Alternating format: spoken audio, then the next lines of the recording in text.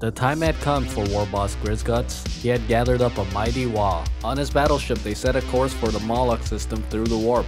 Boys, Gretchin, Snotlings, and Meks all held on for dear life, and as fast as they had entered, they arrived through the other side. But the location seemed all too familiar.